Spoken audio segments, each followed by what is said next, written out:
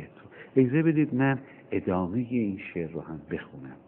آسمان محو فداکاری هات دشت ها هم قدم تنهایی.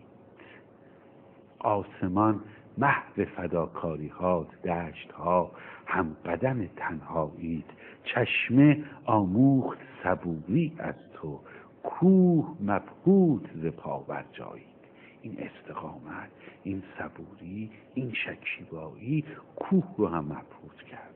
از ازل در تو خدا جایی ساخت.